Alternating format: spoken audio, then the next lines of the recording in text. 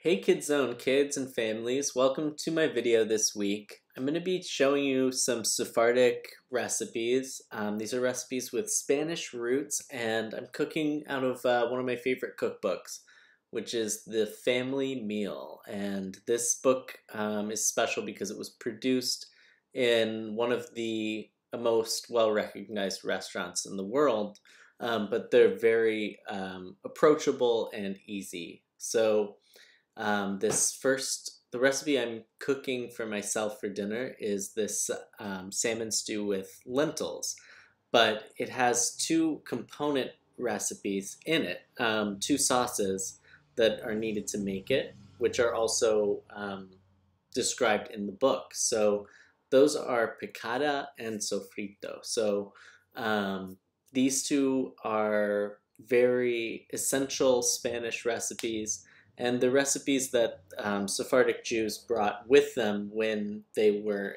expelled from Spain in 1492, they brought the recipes around the world during their exile from Spain. Sephardic Jews made their way through North Africa to the Baltic region, back into the Middle East, and to the Americas. The Inquisition is an extremely tragic and important part of Sephardic history. The first thing I'm going to prepare are all the onions and garlic I'll need for both uh, sauces. Um, I'm going to need four and a half cups of onion for the sofrito and eight or ten cloves of garlic in total. A nice trick is using estimation instead of measuring all of your ingredients. One onion is roughly a cup and one bulb of garlic has roughly 8 to 10 cloves. While I was cooking, I also did a little multitasking. I take a Ladino course, which is the Sephardic language, um, online, and this has been going for the past five weeks, so you can hear that here a little bit. Pasharo, or pasharito with that diminutive iko. Um, ¿Cuántos pasharicos tengo? So we're going to start with this. I see some hands up already, but I'll, I'll get to the activity itself in a moment. So the word quantos means how many, and you'll see here that there's some agreement between how many. I really enjoyed being able to learn online and to be able to teach with you guys. So these are some of the words that uh, you may have heard in the video thus far. My family left Spain in 1492 um, after their expulsion and made their way across the Mediterranean to a city called Salonika, which became known as the Jerusalem of the Balkans because of its large Jewish population. In the background, you can see me crushing some garlic. This is an essential step. It releases a chemical called allicin within the garlic, and that's going to boost the flavor profile Take the garlic you crushed and put it to the side. You're going to need it for both of the recipes. So I'm going to take the onions and get to work on those. And you'll see me chopping this onion up. Hold on a second. So we need to take a look at my cutting technique. I was making a deliberate error that you can see here. And I was cutting with my fingertips out. Now, that's not very safe because we don't want to cut any part of our finger. So instead, always make sure to keep your fingers down and make a knuckle on top of the onion or any other vegetable you might cut.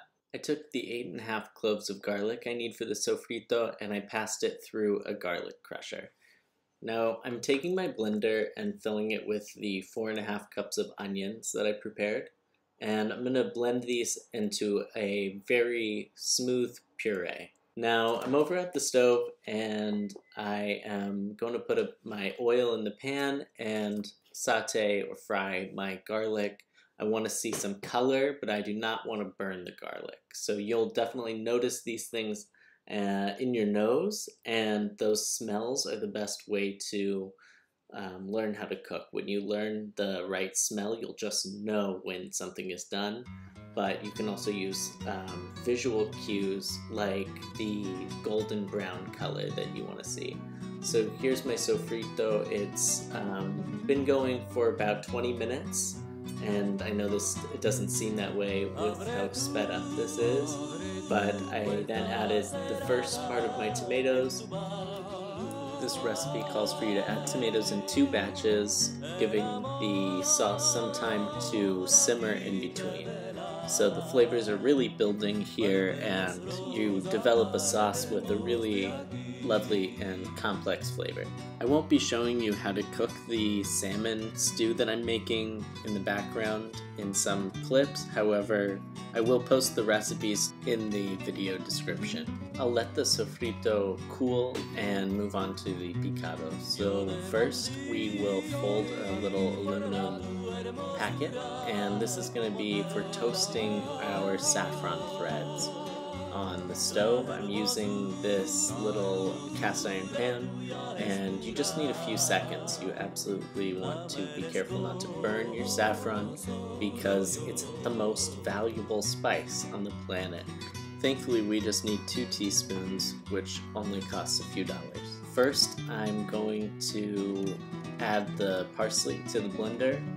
You'll see the saffron going in and then some oil and the hazelnuts. Again, I'll post these recipes so you can follow along. And you're gonna blend this um, until it's pretty evenly blended. Uh, my blender is old and it only does so much. Ideally this would be done in a food processor or even with a mortar.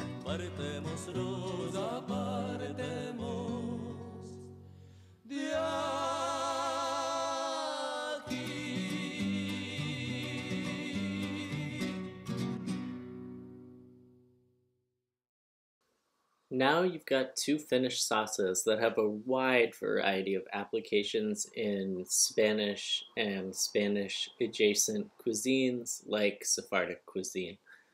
And I wrap those sauces up and put them in the freezer. You can use a variety of containers. Here are a few pictures of the salmon stew that I made from the cookbook using both sauces, the picado and the sofrito.